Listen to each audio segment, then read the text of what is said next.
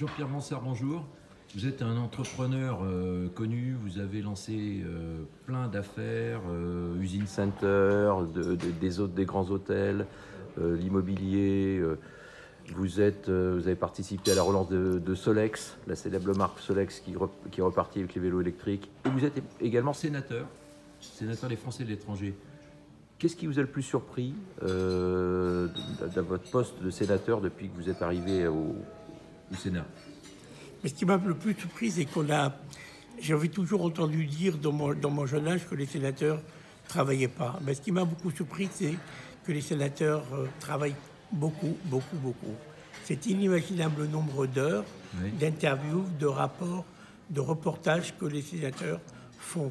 C'est un travail extrêmement important et ça, et ça j'ai trouvé ça extrêmement agréable et ça enlève toute l'image qu'on avait depuis des années sur les sénateurs ou sur le train des sénateurs. Jean-Pierre Bonsard, vous êtes un entrepreneur. euh, avant d'a- avant d'avoir été sénateur, vous êtes toujours entrepreneur d'ailleurs. On a parlé de Solex.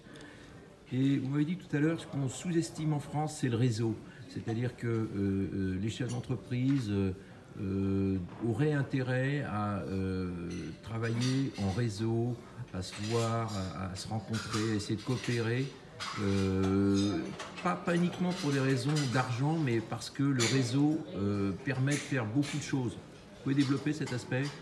Alors, toujours, c'est ce que je dis toujours. Je dis toujours que c'est vrai que dans les affaires, dans le, monde en- d'entre- d'entreprise, on gagne de l'argent. Mais bien souvent, les entrepreneurs, et ça je le rencontre très très souvent, manquent de réseau.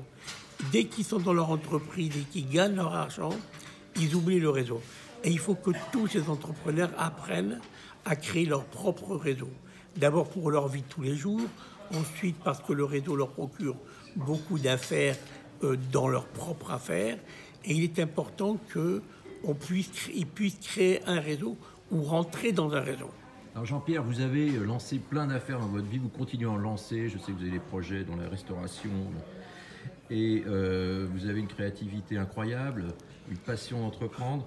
Euh, à la lumière de tout ce que vous avez réussi, euh, quel conseil vous pouvez donner à un, à un jeune ou un moins jeune qui veut entreprendre aujourd'hui? Alors le seul conseil que je peux donner, que je me suis attribué à moi-même, c'est la patience. La réussite, elle arrive toujours. La réussite, c'est un triptyque. C'est beaucoup, beaucoup, beaucoup de travail. C'est bien faire ce que l'on sait faire. Et bien, et bien entendu, il y a un facteur chance. Un facteur chance, ne jamais lâcher. Et ne jamais, jamais lâcher. Il faut toujours être persévérant dans ce qu'on fait. Entièrement persévérant, avoir de la patience et atteindre le but qu'on s'est fixé soi-même. ne pas trop s'inquiéter, car euh, je vois que vous êtes toujours un homme très serein, très dynamique et toujours serein. Ça, c'est peut-être une de vos forces aussi par rapport à d'autres.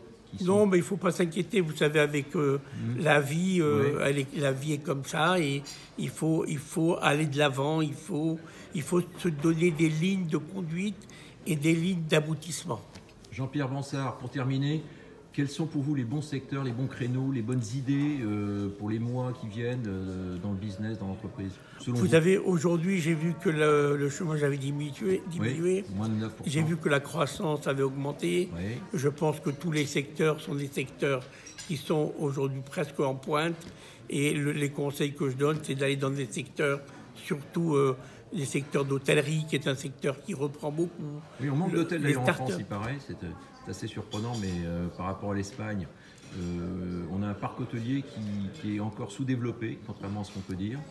Et vous êtes, vous, un, des, un entrepreneur dans l'hôtellerie. Vous avez un grand hôtel avenue de Wagram qui s'appelle L'intercontinental. L'Intercontinental.